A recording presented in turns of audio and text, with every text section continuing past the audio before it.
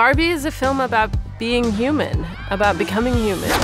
Greta was the first person and the only person we went to because I love her as a writer, and as a director. Could you just hold on for one second?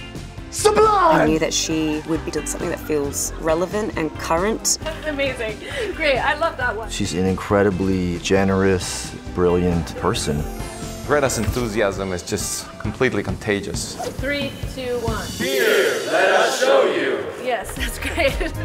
I feel like we've always used dolls as a way to kind of understand ourselves through play.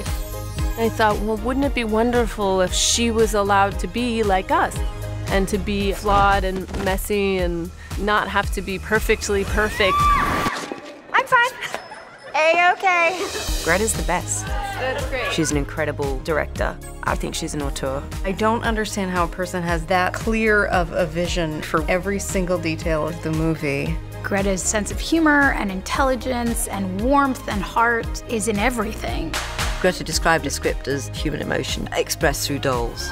And it was exactly that. I wanted to paint in big, beautiful, broad strokes and build this crazy world and have it be funny and real and relatable. And I just want people to feel joyful. Barbie!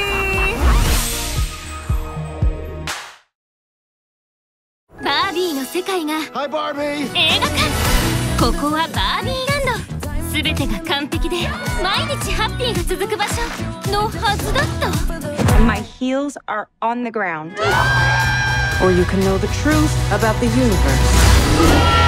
真実を知るために人間の世界へそこで彼女が知った Back in a box. 驚くべき秘密とは Ideas live forever. バービー